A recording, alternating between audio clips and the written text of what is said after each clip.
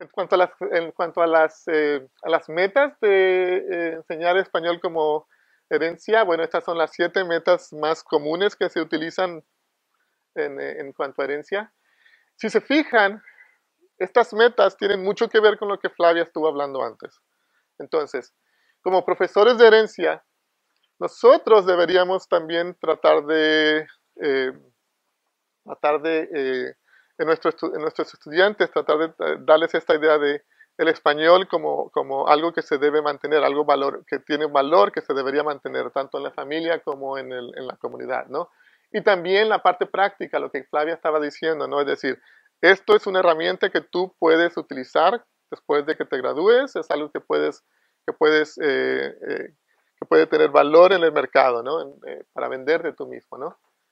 La adquisición de un español académico, la expansión de la, del continuo bilingüe, ¿no? Es decir, eh, si ahorita el estudiante de la, que, que, que, dijimos era principiante, el número 3, ¿verdad? Entonces este estudiante, pues, nuestra meta sería que avance en este continuo de la A menor a la, a la grande. A grande, ¿verdad?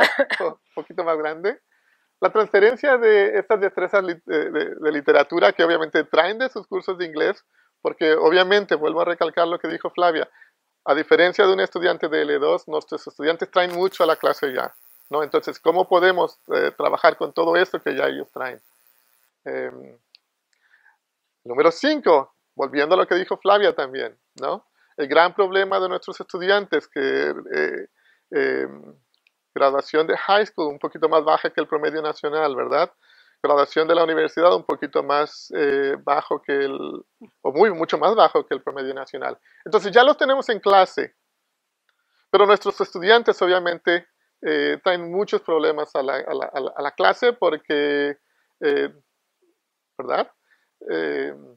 son de, son de, muchos de ellos son de, vienen de ese 22%, ¿verdad? De, nivel de pobreza.